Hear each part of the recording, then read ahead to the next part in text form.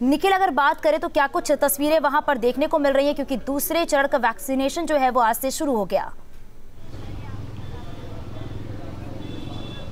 आ, बिल्कुल आज से फ्रंटलाइन वर्करों को जो है वो वैक्सीनेट किया जाएगा और अगर उनकी बात करें तो तीन हज़ार ऐसे लोग हैं जिनको लखनऊ में टीकाकरण किया जाना है।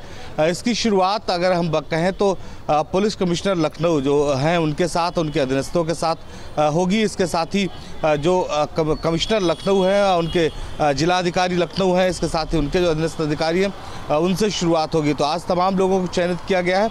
हालाँकि इससे पहले जो टीकाकरण अभियान चल रहा था, उसमें जो स्वास्थ्यकर्मी थे उनका भी टीका आज साथ में ही चलेगा।